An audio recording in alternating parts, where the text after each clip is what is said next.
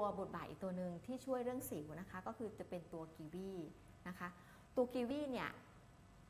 เป็นวงการความงามทั้งหลายนะคะ นิยมเอากีวีมาสกัดเป็นผลิตภัณฑ์ ไม่ว่าจะเป็นเครื่องสำอาง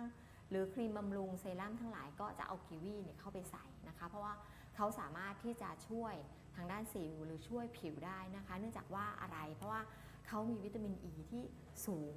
มากกว่าอะโวคาโดถึง 2 เท่าเลยทีเดียวนะคะ แล้วก็ช่วยบรรเทาอาการอักเสบต่างๆ ในร่างกาย แล้วก็บนผิวหนังของเราได้ด้วยนะคะทำให้ผิวของเราแข็งแรงนั่นเองนะคะ มีวิตามินซีสูงกว่าส้มถึง 2 เท่านะคะ แล้วก็ช่วยเรื่องกระบวนการสร้างคอลลาเจนของผิวทำให้ผิวเรากระชับเต่งตึงขึ้นนะคะ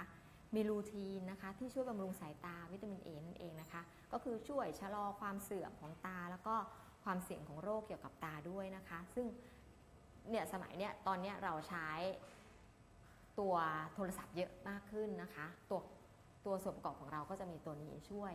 นะคะ เกี่ยวกับตาด้วยชะลอความเสื่อมของตัวตาเรานะคะ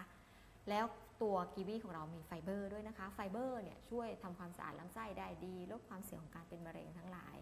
นะคะ มีโอเมก้า3ด้วยนะคะ มีจากไหนก็คือจากเมล็ดเล็ก ๆ นั่นเองนะที่อยู่ในตัวกีวีนะคะ ก็คือตัวนี้เขาจะช่วยดูแลปัญหาสิวนะคะ แล้วก็ชะลอปัญหาริ้วรอยก่อนวัยได้ด้วยนะคะอ่าสุดท้ายมีโพแทสเซียมนะคะ ที่ในกีวีที่ช่วยรักษาระดับของเหลวในร่างกายของเราให้สมดุลนะคะ แล้วก็ช่วยลดความดันโลหิตได้ด้วยนะคะ